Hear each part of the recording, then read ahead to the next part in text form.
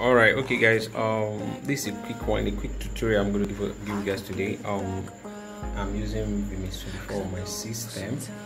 And now on my phone here my mobile phone here i have a vmix controller. Now what this one does is to help you to control um, the activities on the vmix and now it's very simple. When you look at uh, take a look at this vmix controller here.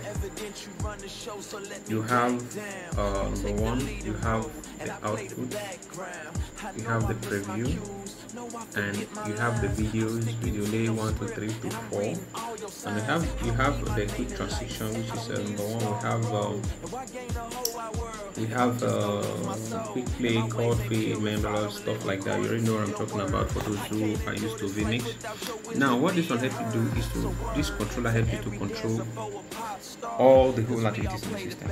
So now if i come here and just watch what happens.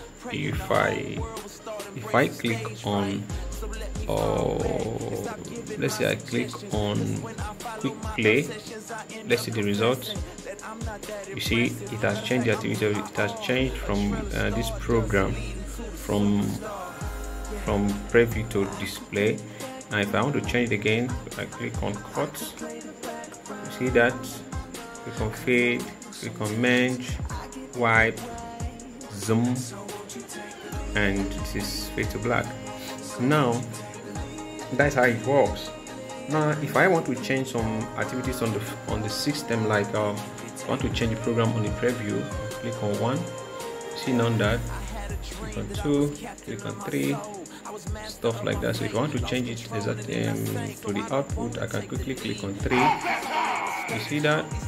So that is how it all works. It's a very simple one. You can actually use it uh, within the environment or where you're operating where you are using your system. Sure you get so it works so perfect. It makes your work so very very easy instead of to use the system and all that.